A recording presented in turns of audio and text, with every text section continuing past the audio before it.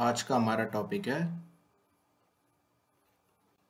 Concentration terms right देखो, दो type की होती है कंसंट्रेशन टर्म्स कौन कौन सी? पहली होती है टेम्परेचर डिपेंडेंट टेम्परेचर डिपेंडेंट दूसरी होती है टेम्परेचर इंडिपेंडेंट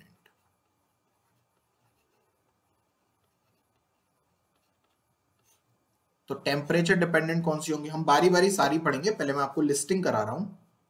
एक हम पढ़ेंगे परसेंटेज बाय वॉल्यूम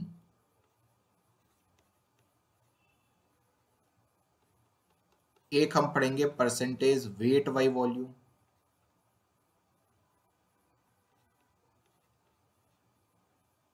यहाँ पर जब मैं लिख रहा हूँ परसेंटेज बाई वॉल्यूम इसका मतलब है percentage volume by volume right एक हम पढ़ेंगे मोलैरिटी एक पढ़ेंगे नॉर्मेलिटी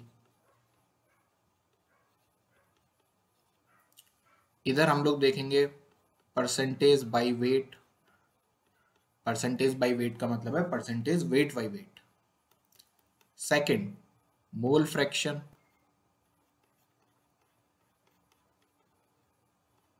third molality वहाँ पर था मोलैरिटी यहाँ है मोलैलिटी और fourth parts per million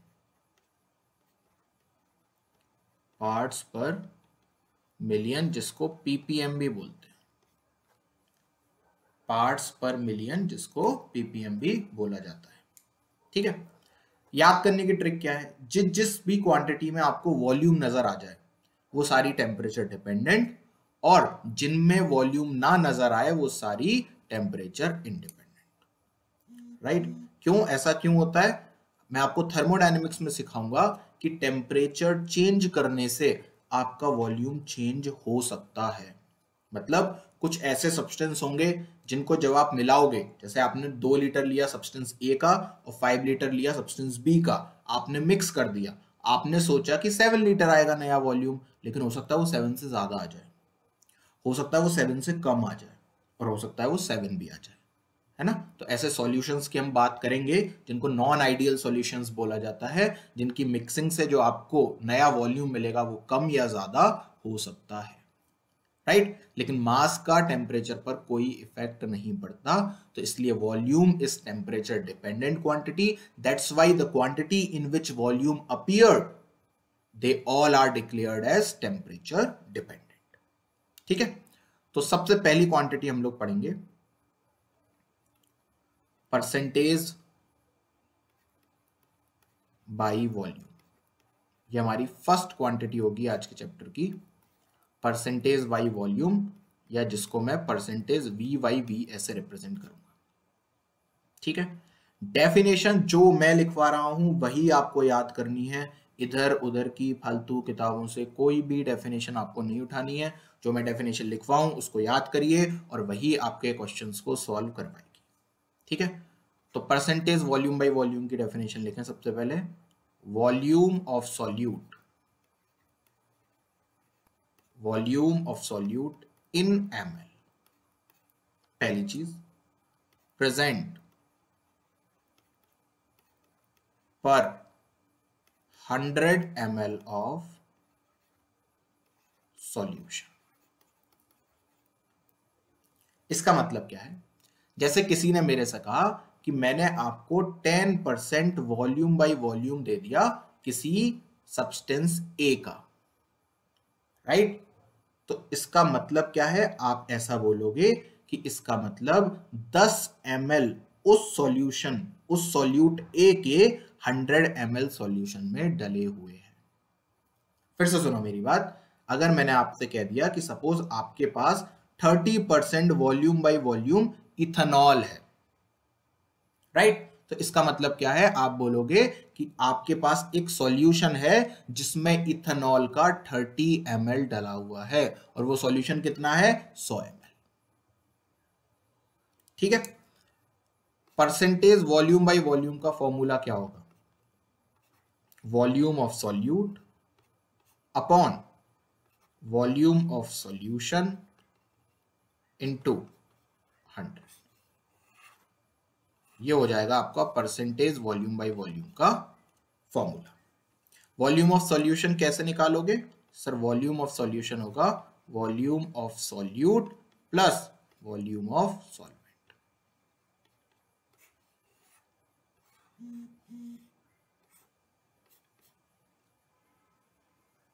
ठीक है? पर अभी तो आपने बोला था कि सॉल्यूट और सॉल्वेंट को मिक्स करोगे तो सॉल्यूशन का वॉल्यूम ज़्यादा भी आ सकता है, कम भी आ सकता है। बिल्कुल सही बात है। लेकिन जब भी क्वेश्चन में कुछ ना दे रखा हो और जो कि नहीं दे रखा होगा, आपको यही मानना है कि आपका जो सॉल्यूशन बन रहा है वो आइडियल है। इसका मतलब सॉल्यूट प्लस सॉल्वेंट का वॉल्यूम मिलाकर जो वॉल्यूम आएगा, वही सॉल्यूशन का वॉल्यूम रहा होगा। ऐसा आप मान लेंगे। ठीक? हाँ इससे रिलेटेड ये कब नहीं माना जाएगा, ये मैं आपको पढ़ाऊँगा क्लास ट्वेल्थ के सेकंड चैप्टर में, जब हम बात करेंगे नॉन आइडियल सॉल्यूशंस की। क्योंकि हमारा चैप्टर ही होगा सॉल्यूशन एंड कॉलिगेटिव प्रॉपर्टी तब मैं आपको सिखाऊँगा कि कहाँ पर हमें ऐसा मानना है बट तब तक के लिए बिंदास होकर आपको ये मान लेना है कि सारे सॉल्यूशन आइडियल हैं। ठीक? और जेई ने भी अब तक जितने सवाल पूछे हैं, सारे आइडियल सॉल्यूशन के ही पूछे हैं, क्योंकि वही हमारे सिलेबस में नॉन आइडियल की कैलकुलेशन हमारे सिलेबस में नहीं है। ठीक है? तो ये हो गया हमारा वॉल्यूम ऑफ़ सॉल्यूशन ठीक? तीसरी बात नोट करके एक बहुत इंपॉर्टेंट बात लेंगे ये सारे कंसंट्रेशन टर्म्स के लिए वैलिड है। क्या? कि concentration terms are always defined with respect to solute आप हमेशा कंसंट्रेशन टर्म्स को सॉल्यूट के रेस्पेक्ट में डिफाइन करोगे। सॉल्वेंट के रेस्पेक्ट में नहीं करोगे, सॉल्यूशन के रेस्पेक्ट में नहीं करोगे। यानी कि देखो डेफिनेशन पढ़ो। वॉल्यूम ऑफ़ सॉल्यूट प्रेजेंट पर 100 एम ऑफ़ सॉल्यूशन मैं ऐसा नहीं बोलूँगा वॉल्यूम ऑफ़ सॉल्वेंट प्रेजेंट पर 100 एम ऑफ़ सॉल्यूशन ना, गलत हो जाएगी डेफिनेशन ठीक है? कंसेंट्रेशन टर्म्स को हमेशा सॉल्यूट के रेस्पेक्ट में मेजर किया जाएगा। ये पहला टेक होम पॉइंट है, आपको लेकर जाना है और इसको रट लेना। अब क्वेश्चन कैसे आएँगे? तो सबसे पहले तो इलेवेंथ बेस्ड नॉर्मल क्वेश्चन देखते हैं, फिर उसके बाद थोड़ा सा ऊपर उठेंगे। तो देखिए क्वेश्चन नोट करें। क्वेश्चन कह रहा है, आपके पास 30 एम है of ethanol is mixed with 45 ml of water, determine percentage weight by volume of ethanol. ठीक है? तो बड़ा ही सिंपल सा क्वेश्चन है कि भाई परसेंटेज वॉल्यूम बाई वॉल्यूम निकालना है सॉरी वेट बाई वॉल्यूम नहीं वॉल्यूम बाई वॉल्यूम है यहाँ पर। वेट बाई वॉल्यूम तो पढ़ेंगे इसके आगे। Percentage volume by volume of ethanol निकालना है। तो परसेंटेज वॉल्यूम बाई वॉल्यूम कैसे निकालूँगा? देखते हैं। तो सबसे पहले ऊपर क्या लिखता हूँ? Volume of solute. सॉल्यूट क्या है? इथेनॉल। क्यों? क्योंकि इथेनॉल को डाला गया है पानी में राइट तो जिसको डालते हैं, वो होता है सॉल्यूट। जिसमें डालते हैं, वो होता है सॉल्वेंट। लेकिन अगर आपके पास दोनों चीज़ों में से एक चीज़ पानी है तो पानी इज़ अ यूनिवर्सल सॉल्वेंट इस बात को रट लेना। ठीक है? आपको ये वाली बात पता है कि जब सॉल्यूट सॉल्यूट अगर सॉलिड है और सॉल्वेंट अगर लिक्विड है तो मैंने बोल ही दिया कि सॉल्यूट सॉलिड है सॉल्वेंट लिक्विड है। यानी कि अगर एक चीज़ सॉलिड है, एक चीज़ लिक्विड है तो आप हमेशा लिक्विड वाली चीज़ को क्या मानोगे? सॉल्वेंट और सॉलिड वाली चीज़ को क्या मानोगे? सॉल्यूट पहली बात। लेकिन अगर आपके पास वाटर आ गया एज अ लिक्विड और दूसरी चीज़ भी लिक्विड है तो वाटर की क्वांटिटी कुछ भी हो, आप वाटर को क्या मान लोगे? हमेशा सॉल्वेंट ठीक है? तो सॉल्यूट क्या है इसमें? इथेनॉल वो हो गया thirty M volume of solution क्या होगा? तो पानी है 45 फाइव एम सॉल्वेंट है पानी। हमें सॉल्यूशन का रखना है नीचे तो 30 प्लस फोर्टी दैट इज़ 75 तो नीचे आ गया 75 five M L into hundred right तो एम एल से एम एल कैंसिल इसको काट लो। फाइव वन जा फाइव फाइव फाइव जा ट्वेंटी फाइव फाइव टू जा टेन ट्वेंटी फाइव थ्री जा फिफ्टीन फाइव टेन जा ट्वेंटी फाइव फोर जा ट्वेंटी थ्री टेन जा थर्टी ये आ गया फोर्टी परसेंट क्या आ गया? फोर्टी परसेंट तो ये तो आपका बोर्ड लेवल का क्वेश्चन हो गया क्लास इलेवेंथ में जैसा। थोड़ा ऊपर उठते हैं। अगला क्वेश्चन नोट करिए।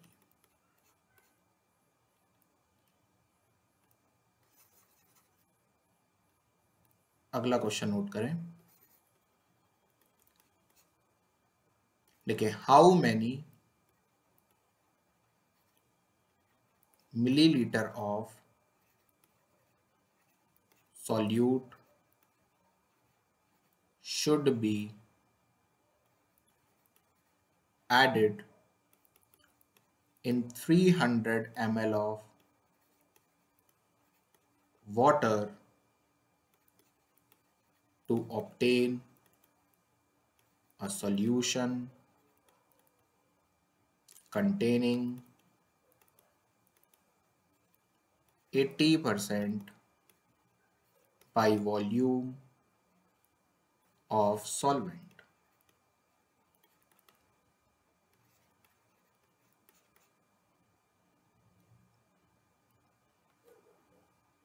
दो मिनट लीजिए क्वेश्चन को अटेम्प्ट करें क्वेश्चन सिंपल है, बस ध्यान से क्वेश्चन को पढ़िएगा। गलती करवाना चाह रहा है आपसे।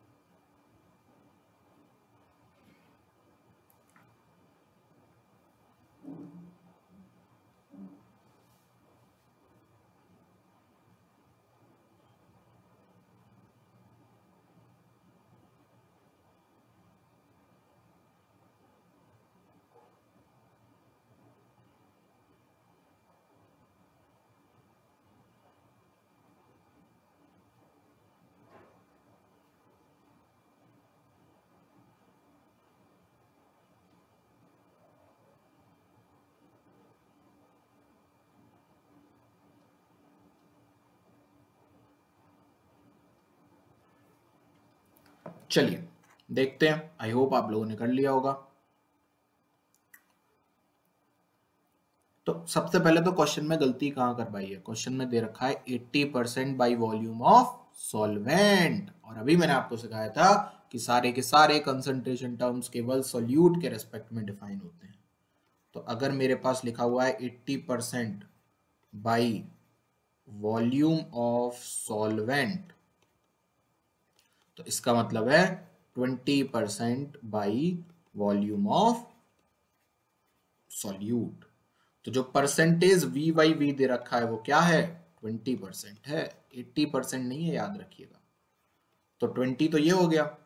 और how many M L of solute should be added in three hundred M L of water मुझे वॉल्यूम ऑफ़ सॉल्यूट पता नहीं है वी मान लेता हूँ। तो वॉल्यूम ऑफ़ सॉल्यूशन हो जाएगा V plus three hundred into hundred सही है? तो यहाँ से v सॉल्व कर लो। तो ये कितना हो गया? Twenty V plus six thousand is equals to hundred V तो eighty V is equals to six thousand तो v हो गया सिक्स थाउज़ेंड अपॉन एट्टी ये कैंसिल टू फोर ज़ा eight three hundred two two ज़ा four one fifty seventy five M L. यानी कि आपको 75 five M L solute add करना होगा। अगर आपको 80 percent by volume of solvent prepare करना है तो। ठीक है, ये हो गया आपका पहला परसेंटेज वॉल्यूम बाई वॉल्यूम। अभी हम बहुत, देखो मैंने एक सवाल आपको बोर्ड लेवल का करवा दिया, एक आपको कॉम्पिटिशन लेवल का करवा दिया। अभी हम सबसे पहले सारे कंसंट्रेशन टर्म्स देख लेंगे। ठीक है फिर उसके बाद जो क्वेश्चंस बनेंगे क्वेश्चंस की टेंशन आपको नहीं लेनी, आप मोल पार्ट वन में देख चुके हो, हम कुछ नहीं छोड़ेंगे राइट हम सब कुछ करेंगे, हम इलेवेंथ भी कवर करेंगे, हम ओलंपियाड भी कवर करेंगे नीट भी कवर करेंगे जेई मेन भी करेंगे जेई एडवांस भी करेंगे। छोड़ना तो कुछ आता ही नहीं हमको, लेकिन सब स्टेप बाय स्टेप होगा राइट तो पहले सारे कंसंट्रेशन टर्म्स दिखाऊँगा, क्योंकि एग्ज़ाम में कभी भी एक कंसंट्रेशन टर्म पर क्वेश्चन नहीं आता। वो मिक्स करेगा, दो कंसंट्रेशन टर्म्स को, तीन को और सबसे प्यारा और फेवरेट है उसका मोलैरिटी और मोलैलिटी और वो उसी में weight by volume weight by weight mole fraction सब कुछ ऐड करके एकदम मसाला बना के आपको देता है और आपसे कहता है सॉल्व करो। ठीक? तो मैं आपको इतने प्यारे प्यारे डायरेक्ट फॉर्मूलेज दूँगा, उनसे भी कर पाओगे और एक बहुत बढ़िया ट्रिक सिखाऊँगा जिसका नाम है डब्बा मेथड मैंने एक डब्बा मेथड बनाया, उसको सीखेंगे बट वो लास्ट में। राइट उससे आपको कोई भी फॉर्मूला रटने की ज़रूरत नहीं पड़ेगी। उस डब्बा मेथड में चीज़ें डालना, आपका आंसर आ जाएगा। लेकिन पहले सारी डेफिनेशन प्रॉपर अच्छे से समझते हैं, ताकि हमें कंसेप्ट क्लियर हो जाए। अगला कंसंट्रेशन टर्म है हमारा percentage weight by volume percentage weight by volume चलिए, इसका मतलब क्या है? Weight of solute present per 100 ml of solution weight of solute present per 100 ml of solution यानी कि अगर किसी ने मेरे से कहा कि मेरे पास 100 ml पानी है और उसमें 10 ग्राम नमक घुला हुआ है। तो मैं कह दूँगा कि आपके पास 10 percent weight by volume solution है NaCl का। क्यों? क्योंकि वेट ऑफ़ सोल्यूट प्रेजेंट पर 100 एम ऑफ़ तो अगर किसी ने मेरे से कहा 10 percent weight by volume solution of NaCl मतलब 10 ग्राम NaCl घुला हुआ है 90 ग्राम 90 ml वाटर में, इसका मतलब टोटल हो गया 100 ml सॉल्यूशन ठीक है? चलिए। तो परसेंटेज वेट बाई वॉल्यूम का फॉर्मूला क्या हो जाएगा? Weight of solute upon volume of solution into hundred फॉर्मूले को ध्यान से देखते रहना, सब डेफिनेशन से बन रहे हैं। Weight of solute upon volume of solution into hundred ठीक है? क्वेश्चन देखते हैं कैसा आएगा। तो अब एक क्वेश्चन तो सीधे सीधे वैसा ही आ सकता है कि भाई वॉल्यूम ऑफ़ सॉल्यूशन दे रखा है वेट ऑफ़ सॉल्यूट दे रखा है इन टू हंड्रेड कर दो परसेंटेज वेट बाई वॉल्यूम निकाल लो। राइट लेकिन मैं आपको दिखा रहा हूँ कि किस तरीके के और डिफरेंट डिफरेंट वेरिएशन आ सकते हैं क्वेश्चन में। एक तो बहुत अच्छा question A I P M T दो हज़ार पंद्रह में पूछा गया है, उसको भी करेंगे, पहले दूसरा करते हैं। देखो क्वेश्चन क्या कह रहा है? Five moles of glucose is dissolve in 1.1 kg of water. If density of solution is 1.25 gram per ml determine percentage weight by volume of glucose चलिए अटेम्प्ट करें। सोचें क्या क्या दे रखा है क्या निकालना है उस हिसाब से करिए। मैंने थोड़ा सा मोल का तड़का लगाया है आपके लिए क्योंकि हमें तो मोल पार्ट टू ही कर रहे हैं ना हम तो, तो मोल तो आना ही चाहिए नहीं तो मोल गुस्सा हो जाएगा। तो मोल को गुस्सा नहीं करना है हम उसको लेकर आ गए।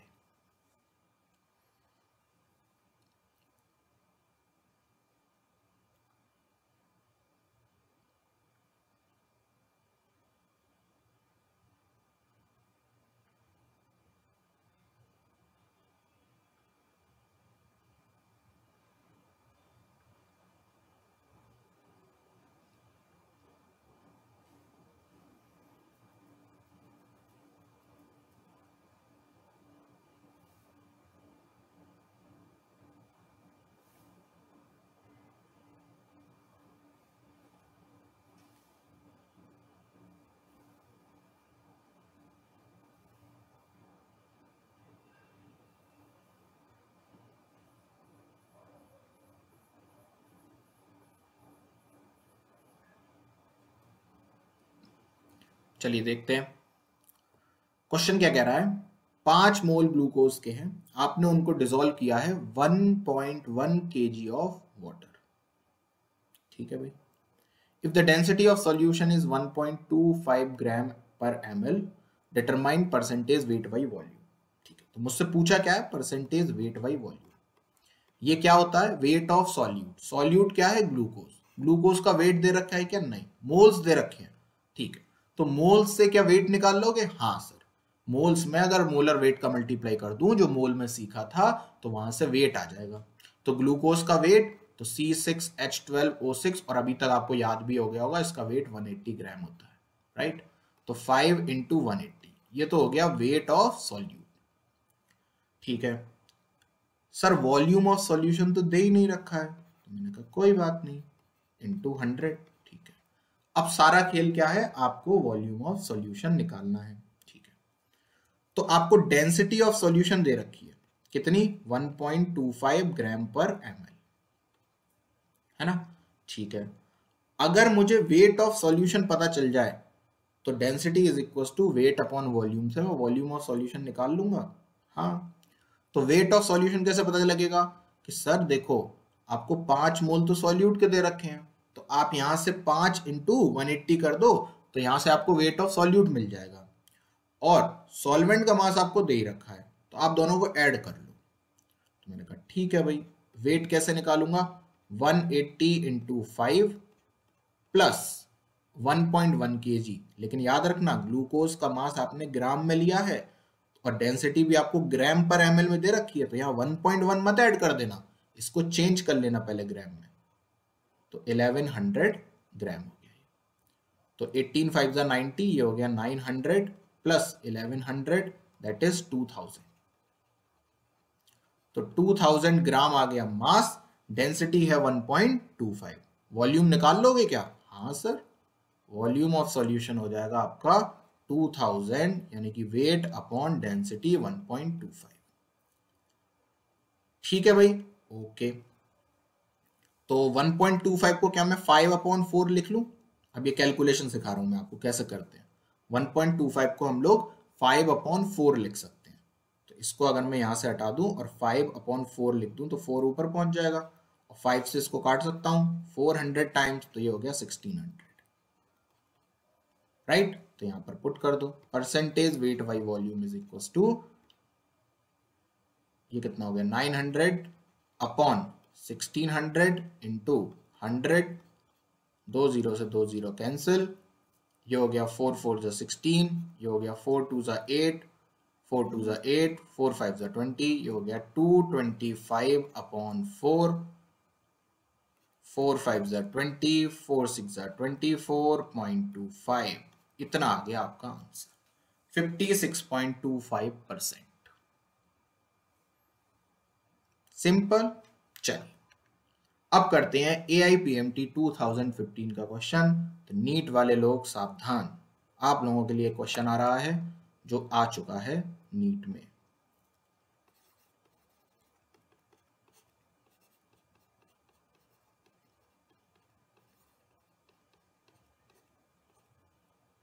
क्वेश्चन क्या है? What is the mass of the PPT formed when 50 ml of 16.9 percent weight by volume solution of AgNO3 is mixed with 50 ml of 5.8 percent weight by volume NaCl solution चलिए, शुरू हो जाए। बहुत ध्यान से, अगर आपको डेफिनेशन आती है ना, अगर आपको चीज़ों की कंसेप्ट की क्लैरिटी है तो आपसे क्वेश्चन हो जाएगा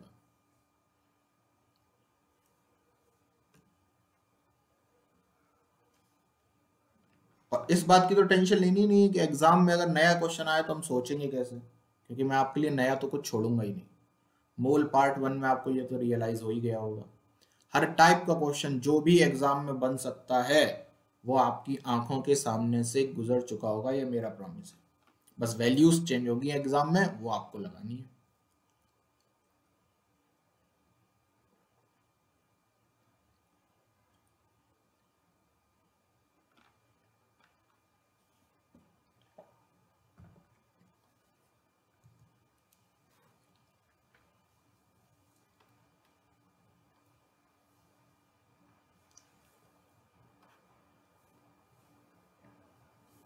तो देखो क्वेश्चन क्या कह रहा है? क्वेश्चन कह रहा है 50 M L sixteen point nine percent weight by volume solution है थ्री का।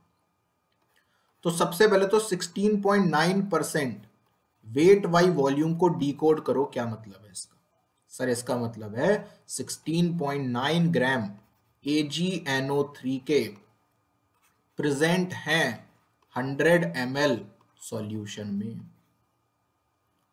और क्वेश्चन में मुझे दे रखा है 50 एम तो बेटा अगर 100 एम में 16.9 है तो 50 एम में कितने होंगे? आपने कहा, सर, आधे। तो 16.9 का आधा कर दो। टू एट जा सिक्सटीन टू फोर जा एट टू फाइव जा टेन यानी कि आपको ए जी एन थ्री का मास पता चल गया। मैंने कहा, ऐसे ही इसका भी निकाल लोगे? आपने कहा, बिल्कुल, सर। मैंने पूछा 50 एम एल का मतलब क्या है? आपने कहा 5.8 डिवाइडेड बाई टू क्योंकि 100 एम में 5.8 ग्राम है तो 50 एम में इसका आधा होगा तो टू टू जा फोर टू नाइन जा eighteen two point nine gram present है। मैंने कहा, ठीक। मैंने कहा एजीएनओ थ्री को जब आप मिक्स करोगे एनएसीएल के साथ तो पीपीटी क्या बनेगा? आपने कहा sir reaction class tenth precipitation reaction याद आ रही है हमको। जब दोनों मिलते हैं तो AgCl का वाइट कलर का पीपीटी बनता है प्लस NaNO3 बनता है। सर मुझे AgNO3 दे रखा है 8.45 और मुझे NaCl दे रखा है 2.9 और मुझसे पूछा है ये, क्या आपको अब पता चल गया? क्या क्या करवा रहा है वो आपसे? देखो, उसने कितना कुछ मिक्स कर दिया। आपको दोनों के मास दे रखे हैं। दोनों के मोलर मास से डिवाइड करो। उसके बाद चेक करो लिमिटिंग रिएजेंट कौन है? और लिमिटिंग रिएजेंट के हिसाब से रिएक्शन को आगे लेकर जाओ। और फिर जो आएगा वो एजीसीएल का मोल आएगा। फिर उसमें भी एजीसीएल के मोल में उसके मास से मल्टीप्लाई करना।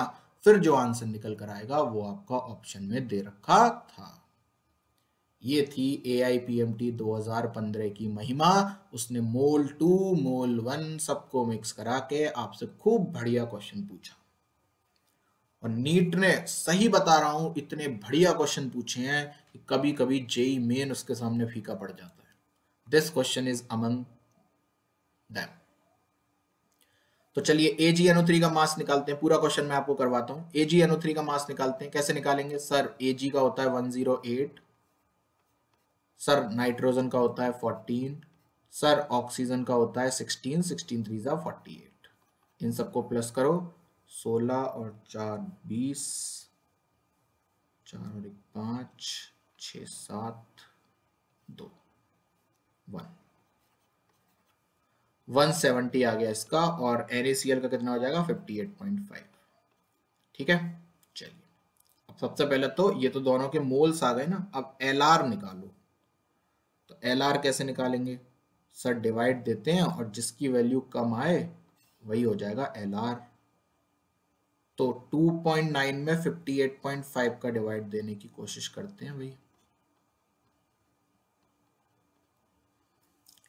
तो ज़ीरो पॉइंट ये लगभग लगभग फाइव फाइव पॉइंट फाइव बार जाएगा, है ना? क्योंकि फाइव फाइव जा ट्वेंटी फाइव होते हैं और एट फाइव जा फोर्टी होते हैं तो ये लगभग लगभग नियरली अबाउट फाइव के आसपास चला जाएगा। और 170 का अगर मैं करता हूँ 8.45 में तो ये तो सीधे सीधे दिख रहा है, ये तो 0.0 कुछ जाएगा राइट क्योंकि 8 में तो डिवाइड जाएगा नहीं तो आप पॉइंट को आगे बढ़ाओगे 84 में देने की कोशिश करोगे, वो भी नहीं जाएगा तो फिर एक और आगे बढ़ाओगे, तब डिवाइड दोगे 845 में, है ना?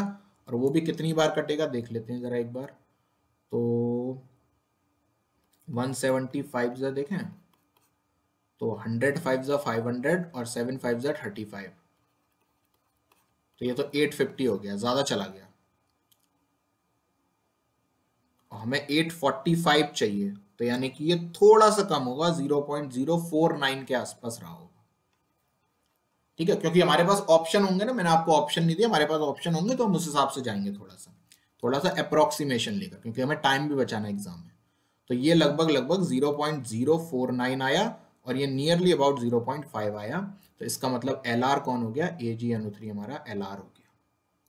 अगर ए जी एन हमारा एलआर है तो इसका मतलब ए जी सी एल के मोल्स भी कितने बने होंगे? 0.049 क्यों? क्योंकि एक से बनता है एक तो 0.049 से बनेगा 0.049 ठीक है? ए जी सी एल के मॉलिकुलर वेट से मल्टीप्लाई कर दो तो ए जी का 108 और उसका 35.5 जोड़ के हो गया 108 प्लस 35.5 143.5 राइट इसका मल्टीप्लाई दे लेना सेवन ग्राम आंसर आ जाएगा। सात ग्राम आंसर था ऑप्शन था एक, सात ग्राम वो ऑप्शन था। मैं आपको ऑप्शन भी अगर देखना चाहोगे तो मैं दे देता हूँ अब आपको। चाहो तो क्वेश्चन को कंप्लीट कर लो। ए ऑप्शन था सेवन ग्राम बी ऑप्शन था फोर्टीन ग्राम सी ऑप्शन था ट्वेंटी एट ग्राम और डी ऑप्शन था थ्री पॉइंट फाइव ग्राम ये दिए थे नीट ने ऑप्शन तो इस तरीके से होना था ये वाला क्वेश्चन आपका। ठीक है जी? चलिए, आगे बढ़ते हैं। अगला कंसंट्रेशन टर्म लिखें। मोलैरिटी कोई भी एग्ज़ाम हो, सबकी आँखों का तारा मोलैरिटी और मोलैरिटी अगर समझ में आ गया तो ये समझ लो फ़िज़िकल के दसों के दस चैप्टर में मोलैरिटी इतना यूज़ होगा, इतना यूज़ होगा, कि आप परेशान हो जाओ बिना मोलरिटी के आयनिक का सिंगल क्वेश्चन नहीं होगा। मतलब अगर मैं आपको आयनिक के 200 क्वेश्चंस करवाऊँगा तो ये मेरी गारंटी है 200 के 200 क्वेश्चन में मोलरिटी आएगी। अगर मैं आपको थर्मोडायनेमिक्स करवाऊँगा तो मोलरिटी आएगी। गैशियस करवाऊँगा, मोलरिटी आएगी। केमिकल इक्विलिब्रियम का सिंगल क्वेश्चन ऐसा नहीं होगा, जो बिना मोलरिटी के हो जाए। सॉल्यूशन कॉलिगेटिव प्रॉपर्टी मोलरिटी आएगी। केमिकल काइनेटिक्स मोलरिटी आएगी। इलेक्ट्रोकेमिस्ट्री मोलरिटी आएगी, यानी कि फ़िज़िकल के हर चैप्टर में मोलरिटी बार बार दसियों बार आएगी। और मोल पार्ट वन तो हर फ़िज़िकल केमिस्ट्री में लगेगा। मोल पार्ट वन तो ये समझ लो केमिस्ट्री का अभिंग हिस्सा है, अब तो वो आपके साथ जुड़ जाना चाहिए। ठीक, चलिए। तो सबसे पहले तो मोलरिटी की डेफिनेशन लिखेंगे। क्या होती है मोलरिटी की डेफिनेशन डेफिनेशन है number of moles of solute present per liter of solution. Number of moles of solute present per liter of solution.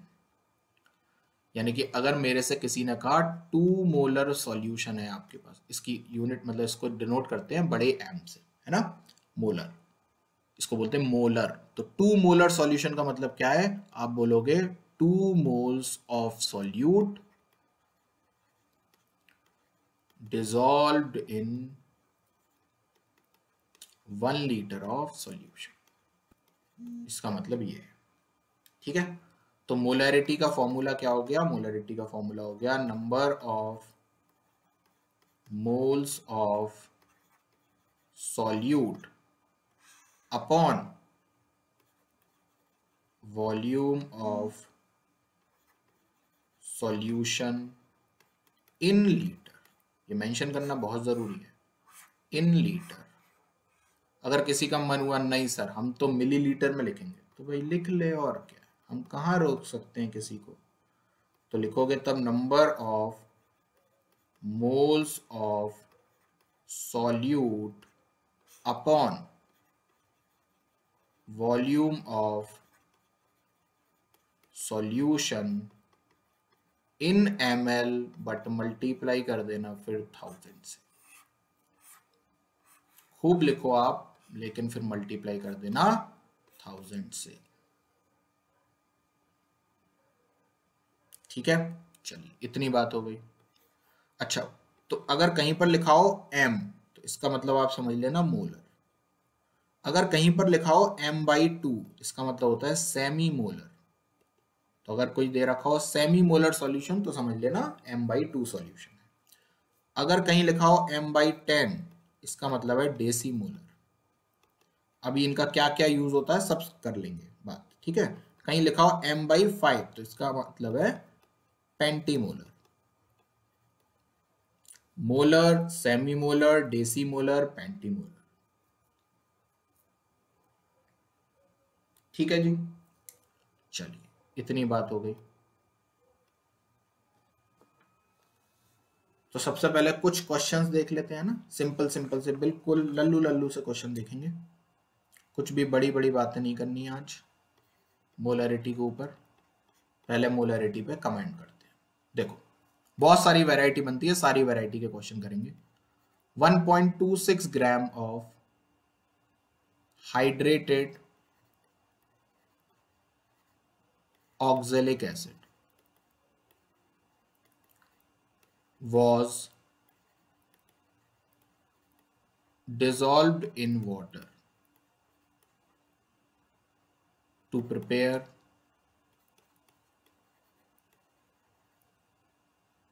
two fifty ml of solution. Calculate molarity of solution. Calculate molarity of solution. तो देखो सबसे पहले तो hydrated oxalic acid का मतलब क्या है ठीक है? अब मैं आपको बिल्कुल वो ऐसे बच्चों वाले क्वेश्चन नहीं दे रहा कि NaCl को डाल दिया, वो सबको पता है। अब मैं आपको फॉर्मूला भी लगाना सिखा दे रहा हूँ और ताकि आपको क्वेश्चन में कुछ एक दो तीन बातें और सिखा दे रहा हूँ उसी के साथ, ताकि आपको चीज़ें रियलाइज़ हो जाए। अच्छा ऐसा भी होता है, ठीक? तो देखो ऑक्जेलिक एसिड का फॉर्मूला क्या होता है? ऑक्जेलिक एसिड होता है C double H C double H ये हम पहले बात कर चुके हैं मिक्सचर एनालिसिस में राइट इसी को आप ऐसे भी लिख सकते हो कि इसमें दो हाइड्रोजन है, दो कार्बन है और चार ऑक्सीजन है तो H two C two O four but hydrated का मतलब क्या है? हाइड्रेटेड का मतलब होता है सर कि उसमें कुछ ना कुछ वाटर ऑफ़ क्रिस्टलाइजेशन ऐड होंगे। राइट जैसे हमने कल एक क्वेश्चन किया था B A C L two dot two H two था उसमें। है ना? तो इसमें क्या होगा? कुछ मॉलिक्यूल्स ऐड होंगे। तो आज से आपको ये रट लेना है कि ऑक्जेलिक एसिड जब भी हाइड्रेट होता है तो उसके अंदर दो molecule of water of crystallisation होते हैं। ये आज से हम रट लेंगे। जैसे हमने रट रखा है कि वॉशिंग सोडा में टेन एच टू ओ होते हैं। जिप्सम में हाफ़ एच टू ओ होता sorry two H two O होता है है ना? प्लास्टर ऑफ़ पेरिस में हाफ़ एच टू ओ होता है। B A C L two में कल देख लिए थे, टू एच टू ओ होते हैं। आज एक और रट लिया, H two C two O four में भी टू एच टू ओ होते हैं और H two C two O four oxalic acid कहलाता है। ठीक है? तो अगर कोई मुझसे ऑक्जेलिक एसिड का मास पूछेगा या फॉर्मूला पूछेगा, मैं केवल H two C two O four का मास निकाल के दे दूँगा। लेकिन अगर कोई मुझसे हाइड्रेटेड ऑक्जेलिक एसिड का मास पूछेगा तो मैं उसमें 2H2O का मास भी ऐड करके बताऊँगा। ठीक? तो मुझसे कहा है 1.26 ग्राम हाइड्रेटेड ऑक्जेलिक एसिड को डिसॉल्व किया पानी में ताकि सॉल्यूशन बन जाए 250 ml का। कैलकुलेट करिए मोलरिटी तो मोलरिटी क्या होता है? Number of moles of solute sir, मुझे तो मास दे रखा है। तो मैंने कहा, बेटा मोलर मास निकाल ले। तो H22 plus carbon 24 plus oxygen 64 plus H two का मास होता है 18 18 टू थर्टी सिक्स राइट इसको सॉल्व करें, ये मास आ जाएगा 126 ठीक, अगर मुझसे कोई ऑक्जेलिक एसिड का पूछता तो मैं 36 माइनस कर देता आंसर हो जाता 96 मास है। ठीक है? या जो भी है 96 नहीं 88 मास है राइट नहीं 90 मास है। एक बार ऐड कर लेते हैं 40 40 हाँ 90 मास है राइट तो ये हो गया 90 मास केवल ऑक्जेलिक एसिड का और 90 में 36 ऐड करती है तो 126 मास हो गया हाइड्रेटेड ऑक्जेलिक एसिड का। बट हमसे तो मोलरिटी पूछी थी तो 1.26 अपॉन 126 ये तो हो गए मोल्स ऑफ़ सॉल्यूट राइट अच्छा डिनोमिनेटर में क्या लिखते हैं? सर वॉल्यूम ऑफ़ सॉल्यूशन मैंने कहा वॉल्यूम कितना है? आपने बोला 250 बट आपने कहा सर अभी आपने फॉर्मूला बताया था अगर वॉल्यूम सॉल्यूशन का एमएल में लिखा तो मल्टीप्लाई बाई थाउज़ेंड कर देना। मैंने कहा, ठीक है, कर दो। तो इसका मतलब क्या हो गया? इसको सॉल्व कर लो। ये हो गया हंड्रेड हंड्रेड से ये कटा टेन टाइम्स ये हो गया ये। तो मोलरिटी आ गई one upon twenty five that is zero point zero four molar solution है मेरे पास। Zero point zero four molar है मेरे पास। ठीक है, अच्छी बात है। आगे बढ़ते हैं। थोड़ा और लेवल बढ़ाते हैं। और किस टाइप के क्वेश्चन बन सकते हैं मोलरिटी पर? देखिए, ये पहले टाइप का क्वेश्चन आपने देख लिया सिंपल फॉर्मूला बेस्ड जिसमें मोल्स ना देकर उसने आपको मास दे दिया। आपने मास को मोल्स में चेंज किया और वहीं पर मैंने एक चीज़ आपको हाइड्रेटेड ऑक्जेलिक एसिड के बारे में सिखा दी।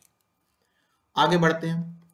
अगला क्वेश्चन है 2.5 point ml of one molar NaOH है आपके पास। आपने उसको मिक्स किया।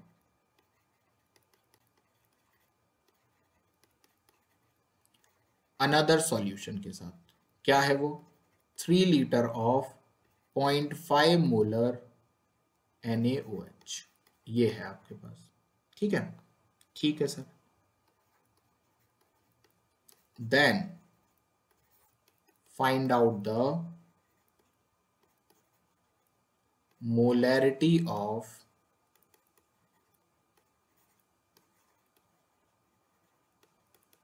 resulting solution resulting solution की मोलरिटी आपको बतानी है। आपके ऑप्शन है 0.80 मोलर ये नीट का क्वेश्चन है। बी है 1.0 मोलर शायद। सी है 0.73 मोलर शायद। और डी है 0.50 मोलर इनमें से शायद एक ऑप्शन सही होगा, कोशिश करें। सर, शायद शायद क्यों लगा रहे हो? अरे नहीं मतलब एक ही ऑप्शन ठीक होगा, आप करिए। कैसे करेंगे? ये तो नई टाइप का क्वेश्चन है। इसमें तो मोलरिटी और वॉल्यूम दे रखा है हर जगह।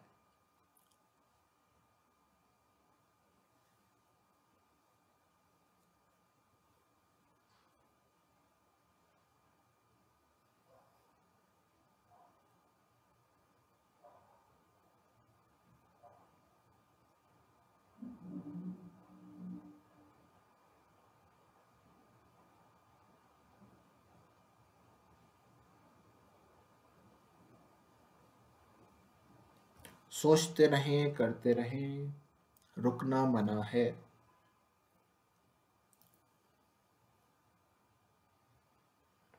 खूब सारे क्वेश्चन करेंगे अभी तो मोलरिटी पर ही। एक ही फॉर्मूले पर आपको डिफरेंट डिफरेंट वैरायटी दिखाऊँगा। फिर धीरे धीरे हम लोग आगे बढ़ते चलेंगे। चलिए, मैं आपको कराता हूँ। देखो सबसे पहले तो हम बिल्कुल अपने देसी मेथड से करते हैं जो हमने सीखा है, फिर उसके बाद मैं आपको एक फॉर्मूला भी बताऊँगा जो किताबों में लिखा होता है, हालाँकि बकवास फॉर्मूला है, कुछ है नहीं उसमें। देखो, आपको क्या दे रखा है? आपको इतने एमएल और इतने मोलर एनएच सॉल्यूशन दे रखा है। आपसे कहा गया उसको मिक्स किया आपने तीन litre point five molar NH solution में। तो बताओ मोलरिटी रिजल्टिंग सॉल्यूशन की, ठीक है? आपको तो कुछ नहीं पता, आपको तो ये पता है मोल्स मोलरिटी ऑफ़ सॉल्यूशन कैसे निकालोगे? Number of moles of solute upon volume of solution into या फिर इतना ही, अगर ये एमएल में है तो इनटू थाउज़ेंड ठीक है? मैं मानकर चल रहा हूँ, ये एमएल में क्या आपको सॉल्यूशन का वॉल्यूम पता है? आपने कहा, सर, पता तो है। मैंने कहा, कैसे? कि देखो सर, ये 2.5 पॉइंट दे रखा है और ये तीन लीटर दे रखा है। काम करो, इसको भी लीटर कर लो। दोनों को लीटर रहने देते हैं, ठीक है? थोड़ा सा चेंज कर लीजिएगा। ये 2.5 लीटर दे रखा है, ये 3 लीटर दे रखा है है ना? तो मुझे सॉल्यूशन का वॉल्यूम पता है, सर। मैंने कहा, कितना? कि तीन लीटर पहले था, आपने ढाई लीटर बाद में मिला दिया तो हो गया फाइव पॉइंट फाइव लीटर। मैंने कहा, लीटर में लिखा है तो थाउज़ेंड हटा दूँ आपने? कहा, हटा दो, सर। मैंने हटा दिया, ठीक है। लेकिन number of moles of solute कहाँ से लाऊँगा? आपने कहा, sir sir, molarity is equal to number of moles of solute upon volume होता है। तो पहला वाला जो दे रखा है ना, उसमें आपने वॉल्यूम दे दिया गलती से और आपने मोलैरिटी भी दे दी है गलती से। तो आप मोल्स निकाल लीजिए ना। मैंने कहा, कैसे? मल्टीप्लाई कर दो। 2.5 आ गए पहले के मोल्स। ऐसी दूसरे में मोलैरिटी और वॉल्यूम में मल्टीप्लाई कर दो तो 5 थ्री फिफ्टीन मोल्स आ गए दूसरे के 1.5 तो टोटल मोल्स कितने हो गए? फोर और four upon five point five कर दीजिए। जो भी आंसर आएगा zero point seven two eight के आसपास आएगा, यानी कि ज़ीरो पॉइंट सेवन थ्री। ये हो गई आपकी रिजल्टेंट सॉल्यूशन की मोलैरिटी तो इसका मतलब हो सकता है वो आपको दो अलग अलग सॉल्यूशन दे, आपको मिक्स करवाए और मिक्सिंग के दौरान आपसे मोलैरिटी पूछे। ठीक है? तो अब किताबों में एक फॉर्मूला लिखा होता आप भी लिख लीजिए वो। Molarity of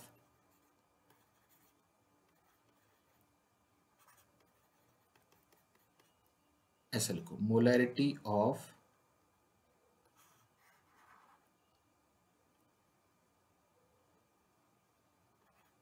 non reacting mixture आपके पास एक मिक्सचर है जिसमें कोई भी रिएक्शन नहीं हो रही है। एनओएच जाकर एनओएच से रिएक्शन थोड़ी करेगा। तो ऐसे सॉल्यूशन की अगर आपको मोलरिटी निकालनी है तो पहले मॉड लगाइए। फिर क्या करिए? M one V one plus M two V two upon V one plus V two कर दीजिए। जो भी आंसर आएगा वो आ जाएगा। तो फिर पुराने वाले क्वेश्चन में लगाकर देखते हैं। पहले मॉड लगाइए। लगा दिया sir M one V one पहले की मोलरिटी इंटू पहले का वॉल्यूम तो one into two point five plus दूसरे की मोलरिटी इंटू दूसरे का volume three into point five upon दोनों का वॉल्यूम का addition that is two point five plus कितना है? थ्री तो फाइव पॉइंट फाइव इसको सॉल्व करोगे तो वही आ जाएगा four upon five point five that is point zero point seven two eight right point seven two eight molar ये हो गई आपकी रिजल्टेंट मोलरिटी ठीक? अच्छा ये हो गया आपका दूसरे टाइप का क्वेश्चन कि भाई जब ऐसे करके आपको वॉल्यूम और मोलरिटी दे रखी हो तो आप मोल्स निकालकर काम चला सकते हो। तो मैंने आपको मोल्स निकालना भी सिखा दिया। मोल्स निकालकर कैसे करोगे? और मैंने आपको जो किताबों में एक घटिया सा फॉर्मूला लिखा होता है, वो भी बता दिया। घटिया नहीं है कभी कभी अच्छा भी लगेगा आपको। आयनिक में खूब यूज़ करेंगे तो इस फॉर्मूले को भी आप अपने नोट्स में ऐड कर लीजिए। ठीक है? चलिए, एक और क्वेश्चन देखते हैं थोड़ा सा सेमी मोलर डेसी मोलर जो लिखा था, उस पर बेस्ड एक क्वेश्चन कर लेते हैं। लिखिए calculate volume in litre of semi-molar NaOH solution required to neutralize 200 ml of decimolar aqueous H2SO4 solution.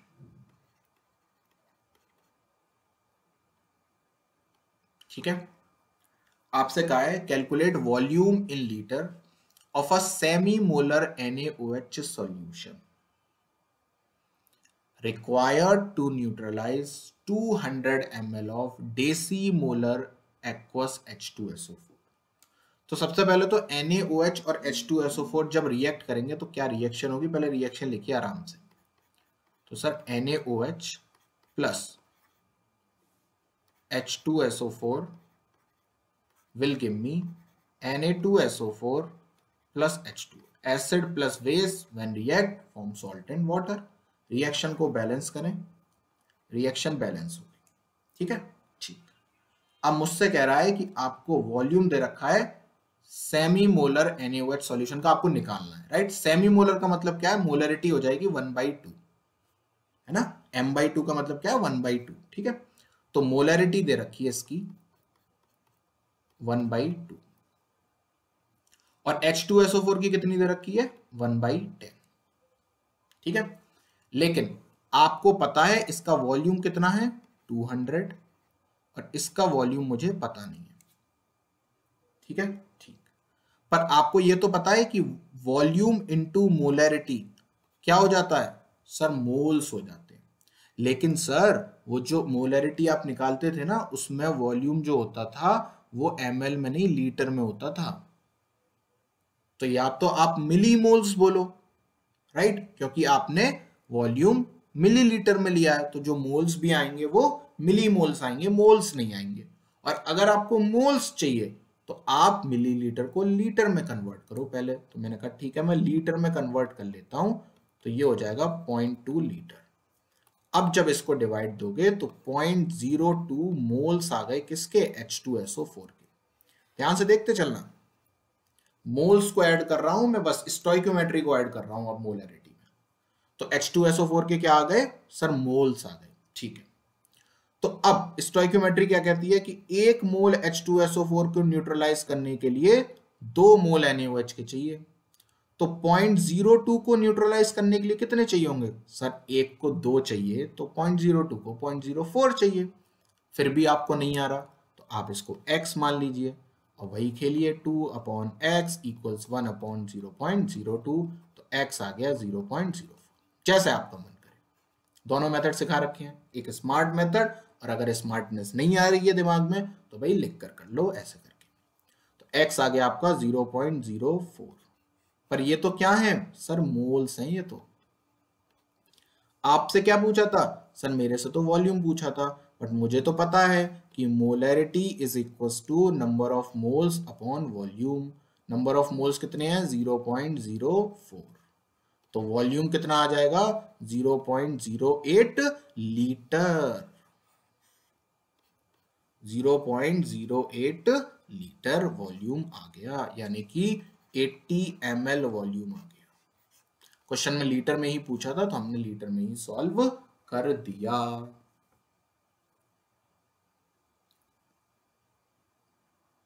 ठीक है भाई? तो इस तरीके से आपको ये वाला क्वेश्चन अटेम्प्ट करना था।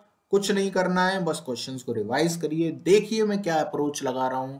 क्वेश्चन सेम ही है, बस इसमें एक मैंने मोलरिटी को कुदवा दिया है क्वेश्चन अब मैं आपको सीधे मोल्स नहीं दे रहा, मैं मोलरिटी और वॉल्यूम दे रहा हूँ। पहले मोल्स निकलवा रहा हूँ, काम वही कर रहा हूँ स्टोइकोमेट्री वाला। ठीक है? और क्वेश्चंस करेंगे। मोलरिटी में बिल्कुल मैं आपको स्ट्रॉन्ग बना दूँगा, उसकी टेंशन बिल्कुल ना लें। बस जो जो मैं करवा रहा हूँ, उसको घर पर जाकर उतना रिवाइज करते रहे। ठीक है? आज के लिए इतना।